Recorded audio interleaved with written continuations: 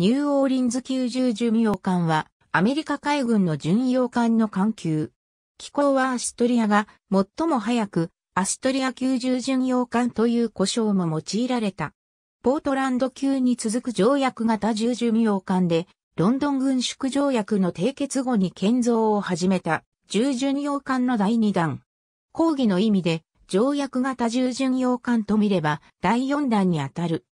1929年度計画で3隻、1930年に2隻、1933年に2隻の計7隻が計画され、1930年から1937年にかけて浸水、竣工した。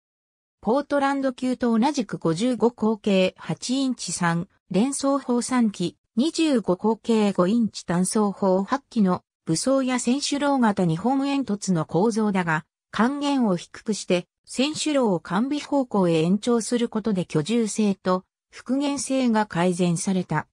また、煙突に挟まれる格好であった関西機設備を日本煙突の間隔を狭めて煙突とローの間に設けたので設備の拡張につながった。船体の寸法も若干縮小し、環境や構造も縮小化したので区画防御の観点から防御力は前ポートランド級をしのぐとされた。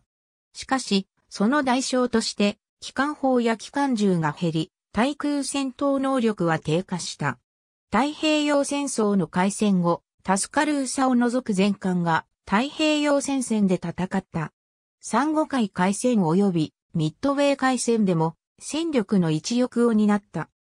しかし1942年8月8日に起こった第一次ソロモン海戦ではガタルカナル島沖北側で紹介任務中であったアストリア、クインシー、ヴィンセンス含む米艦隊が日本海軍第8艦隊の攻撃を受け、この3隻は強力な砲雷撃の前に防御力を活かせず揃って撃沈されてしまった。その約2ヶ月後に起こったサボ島沖海戦において、サンフランシスコが機関を務める艦隊は、レーダー射撃により、日本艦隊に効果的な打撃を与え、従巡洋艦、古高等を撃沈した。その約1ヶ月後の第3次ソロモン海戦は、日米間が互いに接近する対乱戦となったが、やはり機関を務めていたサンフランシスコは、戦艦、比叡、霧島を含む優勢な日本艦隊の砲撃を受け、大損害を被った。それでも何とか持ちこたえ、アメリカ本土に帰還して修理を受けた。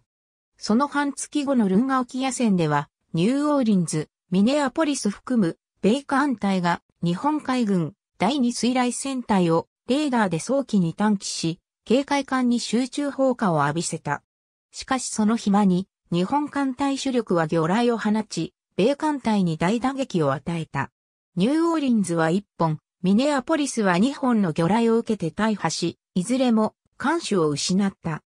それでも2隻は離脱に成功したが、これは南太平洋海戦で日本海軍が母艦航空戦力を喪失し、ソロモン近海の制空権を連合軍側が握っていたという事情も幸いしている。ニューオーリンズはシドニーで応急修理の後、本国アメリカのピュージェットサウンド海軍造船所で本格的修理を行い、ミネアポリスは、ツラギ島沖で応急修理の後、ニューカレドニアのマレ島沖で修理が行われた。一方的に被害を受けていたニューオーリンズ級だが、日本軍は翌月にガタルカナルからの撤退を決定するなど、戦略的に見れば、東急の働きは無駄ではなかった。修理を完了したサンフランシスコは、アッツキスカ攻略に参加し、ギルバート・マーシャル諸島攻略、マリアナ諸島攻略、レーテ島上陸支援には復旧後のニューオーリンズ、ミネアポリスが加わった。タスカルーサは、戦乱護衛や統治作戦、オーバーロード作戦などに参加した後、オーバーホールのためドックに入り、1945年には太平洋戦線に転戦し、サンフランシスコと共に硫黄島攻略に参加した。沖縄諸島攻略には残存艦のすべてが参加した。終戦後は、紹介任務や福音の支援に従事し1947年に退役、保管船となった。初戦から水上戦闘部隊の中核として、存在感を示したニューオーリンズ級だったが、ボルチモア級従巡洋艦のように、朝鮮戦争やベトナム戦争に借り出されることなく1959年に廃棄された。カリフォルニア州沖合のサンフランシスコルンガ沖野線で魚雷命中により大破したミネアポリスニューオーリンズアストリアミネアポリスタスカルーササンフランシスコクインシー・ヴィンセンス。ありがとうございます。